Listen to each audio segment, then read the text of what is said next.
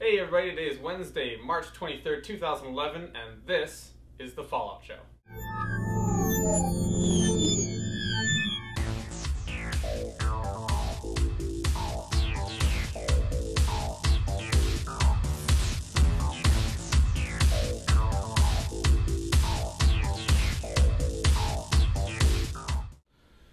Welcome, everybody. If this is your first time watching The Fallout Show, we are a news show focusing on technology and how it affects your world.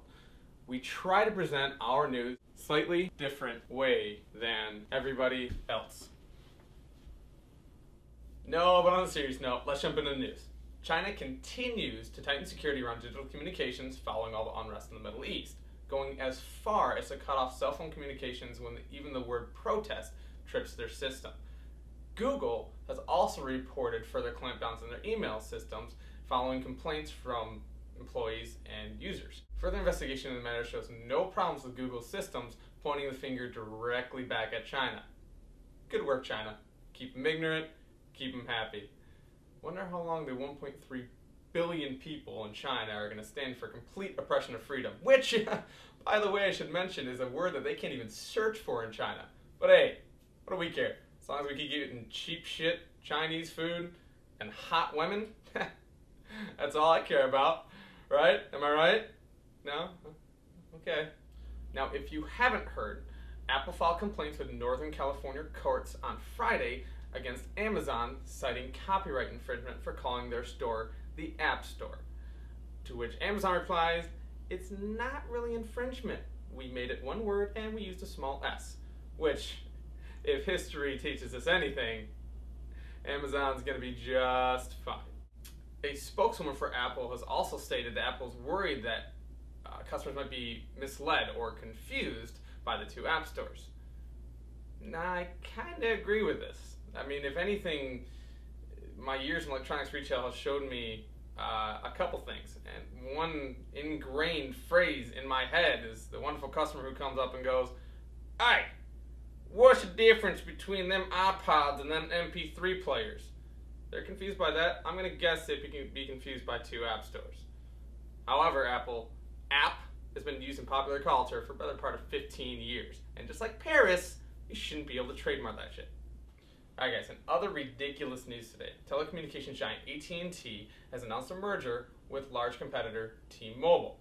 This would take T-Mobile's 35 million customers and add them to AT&T's massive 95 million customer base. This makes AT&T the largest telecommunication provider in the US and puts their market share at, oh, let's say roughly 43%. Let's weigh the pros and cons of this. We won't jump to conclusions. All right, pro. Better coverage for more Americans. Con. Taking a huge innovator off the market. Pro, more coverage for your rural Americans or your small town folk. Con, giving more money to a big greedy giant. Alright, listen. AT&T has put data restrictions on roughly all of their services. This is something that T-Mobile has not done.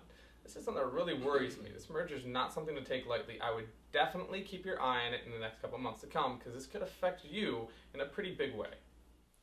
And finally, guys, since we didn't get to do a video last week, I did want to take a few seconds to talk about the devastation that happened in Japan.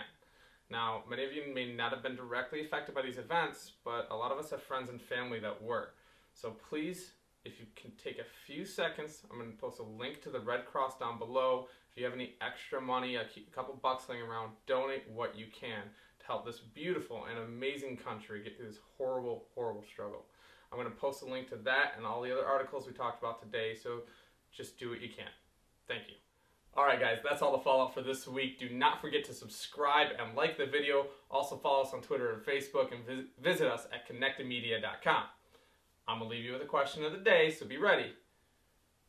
With all the mergers and acquisitions going on with AT&T and T-Mobile, with Sprint partnering with Google, who do you think the next two companies are going to be to merge and bend us over the table? Discuss.